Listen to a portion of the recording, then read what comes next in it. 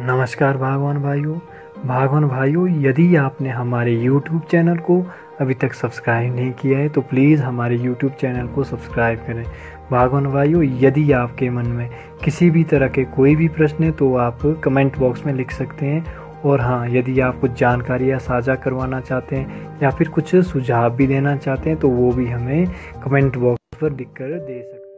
तो भागवान भाइयों आज की इस वीडियो में हम सेब के बगीचों में पौधों को दिए जाने वाले एक ऐसे पोषक तत्वों के बारे में चर्चा करने जा रहे हैं जिसकी पर, कमी के परिणाम स्वरूप पौधों में फ्रूट्स में उसकी क्वालिटी में डिफरेंसेस आ जाते हैं। तो भागवान भाइयों जिस पोषक तत्वों की हम यहाँ पर बात करने जा रहे हैं वो है बोर।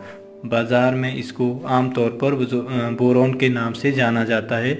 वैसे तो अन्य सभी तरह के पौधों में उचित विकास, पैदावार और बढ़ोतरी के लिए नाना प्रकार के पोषक तत्वों की आवश्यकता होती है, परंतु बोरोन का अपना ही एक अलग सा रोल होता है। बोरोन एक माइक्रो न्यूट्रिएंट्स का काम करता है, बागवान भाइयों, जो सेब के फूल बोले, चाहे परागण या फल बोलो या फिर फल की क्वालिटी बोलो, इन सभी के विकास के लिए इसका महत्वपूर्ण योगदान होता है। वैसे तो हमारे प्लांट्स को बोरोन की बहुत कम मात्रा उपलब्ध होनी चाहिए, परंतु फिर भी इसकी कमी से कई विकारों, कई बीमारियों को प्रोत्साहन मिलता है। इसकी कमी के परिणाम स्वरूप हमारे पेड़ों में कई तरह की डेफिशिएंसीज आती है और फ्रूट भी क्वालिटेटिव नहीं पाता है। बोरॉन नॉर्मल टिश्यू के विकास के साथ साथ जो हमारे प्लांट्स के नॉर्मल टिश्यूज होते हैं, बागवान वायु जैसे जाइलम्स वगैरह हुए, उनके विकास के साथ साथ सेल वॉल की संरचना में भी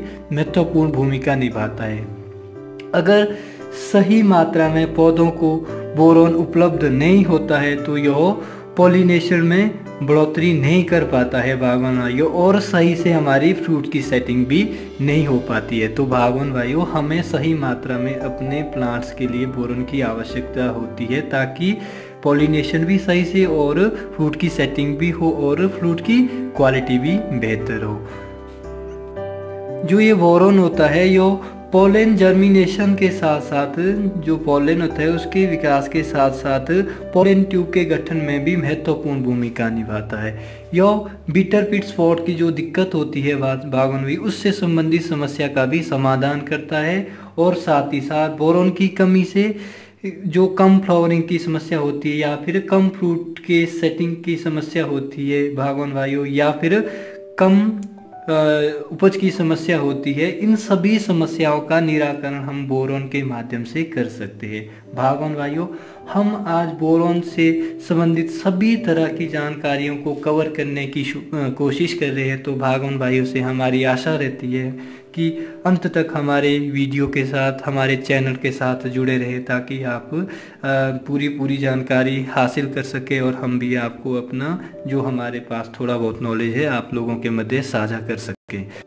तो भागवन वायु सबसे पहले बात करते हैं बोरोन के गोल की। जब भी भागवन भाई बोरोन का गोल बनाते हैं तो इसे तैयार करते समय तरह तरह की सावधानियाँ भी बरतनी होती है और हमें कई तरह की जानकारी भी होनी चाहिए होती है। वैसे वैसे तो भागवान वायु को सभी तरह की जानकारियाँ होती है। फिर भी भागवान वायु जब भी आप बोरोन का मिश्रण बनाते हैं तो दो सौ लीटर के पानी में ढाई ग्राम बोरोन का मिश्रण बनाना होता है। भावन वायु, यहाँ पर एक बात विशेष रूप से आपने ध्यान में रखनी है कि बोरोन चाहे कोई भी आप इंसेक्टिसाइड फंगीसाइड कोई भी मिश्रण आप तैयार करना चाहते हैं, मिश्रण को तैयार करते समय हमें उसको पहले छोटे बर्तन में तैयार करना होता है मिक्स करना होता है, या पाँच या दस लीटर के बकेट में हमने पहले घोल को तैयार करना होता है, ताकि जो रासायनिक क्रिया भागवन वायु अच्छे से हो सके। तो दस लीटर के या पाँच लीटर के बाल्टी में हमने बोरोन को पानी के साथ मिलाना है, तत्पश्चात भागवन वायु 200 लीटर के पानी के ड्रम में इसको मिलाना होता है। तो इस बात का विशेष ध्यान रखें। बोरोन को भागोन वाई सिंगल भी अप्लाई कर सकते हैं, केवल अकेले बोरोन को भी अप्लाई कर सकते हैं। अगर भागोन वाई चाहते हैं कि समय की बचत हो तो इसके साथ आप इंसेक्टिसाइड का भी यूज़ कर सकते हैं। तो इंसेक्टिसाइड आप बेशक इसके साथ अप्लाई कर सकते हैं। तो भागवन भाइयों अब बात करते हैं बोरन की, हमारे प्लांट्स पर किस तरह के प्रभाव होते हैं, किस तरह की भूमिका ये अदा करता है हमारे बगीचों में, हमारे फूल और प्रांगण पे। तो जैसा कि हमने पहले भी बताया है कि यो सेल वॉल्स की संरचना में सेल वॉल की जो संरचना है, उसकी डेवलप में बहुत ज़्यादा योगदान करता है, जो प्लांट्स जो फ्रूट्स में सेल वॉल होती है भागवन और साथ ही साथियों, फूल हो चाहे परागण हो या फिर फ्रूट की सेट हो, उसमें भी बहुत ज़्यादा हेल्प करता है, जिसके परिणाम स्वरूप हैवी क्रॉप हमारे बागों में आ सकती है। जो पत्तों से जो पोषक तत्व होते हैं, उनको फल तक पहुँचाने भी, पहुँचाने में भी बहुत ही ज़्यादा महत्वपूर्ण हेल्प करता है बागवान वायु जो पोषक तत्व होते हैं पत्तों में, पत्तों के माध्यम से ही ये फूलों तक जो फूलों या फिर हमारे फलों वहाँ तक पहुँचाने में मदद करता है बागवान वायु तो जो ये पहुँचाने की क्रिया ये जाइलम जो लेयर्स होती है, जाइलम जो एक तंतु तरु तंतु होता है, उसके माध्यम से ये हमारे पत्तों से फूल तक पहुंचाता है। जाइलम से रिलेटेड मैंने एक पिछली वीडियो में भी भागवन वायु चर्चा की थी। तो जाइलम के लिए और अधिक जानकारी हासिल करने के लिए आप जाइलम के लिए ऊपर दिए गए आई बटन पर क्लिक करके वीडियो के माध्यम से विस्तृत जानकारी हासिल कर सकते हैं। तो बागवान वायु यह पोलन ट्यूब के विकास में भी महत्वपूर्ण भूमिका निभाता है और जो बीटर पिट स्पॉट होता है हमारे प्लांट्स फल पे उसके निराकरण करने के लिए भी, उसको कम करने के लिए भी यह महत्वपूर्ण भूमिका निभाता है। तो पौधों की प्रजनन क्षमता को भी बढ़ाता है, जो हमारे पौधों में की प्रजनन क्षमता होती है, उसको भी बढ़ाता है और साथ ही साथ यह प्राग अंकुरण के निर्माण में भी मदद करता है। तो भागवन वायु अब बात करते हैं बोरोन की कमी के परिणाम स्वरूप हमारे भागों में फलों पर प्लांट्स पर किस तरह के जो लक्षण दिखाई पड़ते हैं, उनके बारे में जो थोड़े बहुत लक्षण हमें मालूम हो सकते हैं, उनके बारे में हम विस्तृत चर्चा करेंगे। तो बागवन वायु सबसे पहले अगर हमारे बागों में डाई बैग की प्रॉब्लम आती है शूट्स पे तो समझ लेना कि बोरोन की कमी है, यानी कि जो शूट है, वो टिप से नीचे की ओर सूखना शुरू कर देता है। जब ये प्रॉब्लम आती है तो उस समय हमारे बागों में पौधों पर बोरोन की कमी होती है, या फिर कम फूल खिले, या फ्रूट की सेटिंग ना हो तो उस समय भी बोरोन की कमी हो सकती है। या फिर हमारे जो कॉर्क पिट है, उस पर अगर इसका जो आंतरिक टिश्यू काले हो जाते हैं तो भी हमारे भागों में बोरोन की कमी हो सकती है। एक अन्य लक्षण भी इसका हो सकता है भागों जो बिटर पिट है उस बिटर पिट स्पॉट अगर कहीं पे दिखाई देता है फलों पे तो भी ये प्रॉब्लम हो सकती है हमारे बाग में, बोरन की दिक्कत हो सकती है।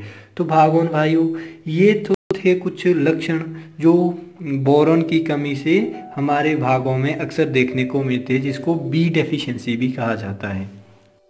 तो भागवन भाइयों, अब बात करते हैं बोरोन के एप्लीकेशन की, कि कब बोरोन को अप्लाई अपने प्लांट्स पर किया जाए। इसको अप्लाई करने के आम तौर पर तीन चरण होते हैं भागवन वायु इसको तीन चरणों में हम अपने भागों पर अप्लाई कर सकते हैं। अमूमन इसको लीफ पर ही अप्लाई किया जाता है, क्योंकि लीफ के माध्यम से ही ये पोषक तत्वों को हमारे बर्ड्स पर या फिर जो हमारे फ्रूट्स होते हैं, उन तक पहुँचाने का कार्य करता है। तो भागवन वायु बात करते हैं यहाँ पर तीन चरणों की बारी बारी से हम यहाँ पर चर्चा करेंगे। सबसे पहले आते हैं पहले चरण पर। पहले चरण पर जो इसको छिड़काव करने का प्रॉपर टाइमिंग रहती है बागवन वायु वो शुरू होती है ग्रीन टिप से और ख़त्म होती है पिंक बर्ड पर। जब भी पहले चरण में आप लोग अप्लाई करना चाहते हैं तो ग्रीन टिप से शुरू करें और पिंक बर्ड तक ही पहले चरण में इसका छिड़काव करें। ध्यान रहे भागवन वायु, किसी भी तरह के इसके रेशो में परिवर्तन ना करें। जो ढाई सौ ग्राम का रेशो है, वो सेम रहना चाहिए। इसको किसी भी तरह से हम कम या ज़्यादा ज़्यादा तो बिल्कुल भी ना करें। तो भागवन वायु बात करते हैं दूसरे चरण की। दूसरे चरण में जो इसकी छिड़काव का समय रहता है, वो रहता है फ्रूट सेट से लेकर मटर के दाने के जितने के साइज़ के बराबर, यानी कि पीनट साइज़ और फ्रूट के सेट तक इसका समय रहता है, इसके बीच में बागवान भाई कभी भी इसका छिड़काव कर सकते हैं। तो तीसरे चरण की बात करते हैं बागवान वायु तीसरा चरण जो फ्रूट सेट जो इसकी छिड़काव का रहता है तो तीसरे चरण में बागवान भाई इसका यूज़ पोस्ट हार्वेस्ट से लेकर, जैसे ही फल तुड़ान करते हैं, उसके पश्चात दूसरे दिन से या फिर उसी दिन से जब हम पोस्ट हार्वेस्ट करते हैं, जब हम तुड़ान करते हैं, उसके पश्चात से लेकर हम लीफ फॉल तक प्री लीफ फॉल्स जब तक कि हमारी पत्तियाँ ना झड़ जाए, उससे पहले ही हमने इसका छिड़काव करना होता है। लगभग 10 से 15 दिन पहले हमने इसका छिड़काव करना होता है लीफ हॉल से, दस से पंद्रह दिन पहले। क्योंकि भागवन वायु हम जानते हैं कि जो ये बोरोन है, ये पत्तियों के माध्यम से ही सारा काम करता है। बोरोन ही नहीं, जितने भी पोषक तत्व है, वो पत्तियों के माध्यम से ही हमारे प्लांट तक पहुँचते हैं। तो पत्तियों के गिनने से पहले ही सभी तरह के पोषक तत्वों का हमने यहाँ पर अप्लाई करना होता है अपने भागों में, अपने बगीचों में। तो भागवन वायु ये तो थी हमारी पोषक तत्वों से संबंधित कुछ अहम जानकारियाँ, खास तौर पर जो हमारा बोरोन है, बोरोन से संबंधित कुछ महत्वपूर्ण जानकारियाँ जो हमने अपने भागवन वायु के मध्य साझा करने की कोशिश करी है। तो भागवन वायु आप लोग हमारे इस यूट्यूब चैनल के साथ बने रहते हैं। आप लोगों का बहुत बहुत धन्यवादी हूँ मैं। कि आप हमें बहुत प्यारे प्यारे कमेंट भी करते हैं। तो भागवन भाइयों, इसी तरह का प्यार देने के लिए आप हमें सुझाव भी दे सकते हैं भागवन भाई। आपके सुझाव बहुत ही ज़्यादा महत्वपूर्ण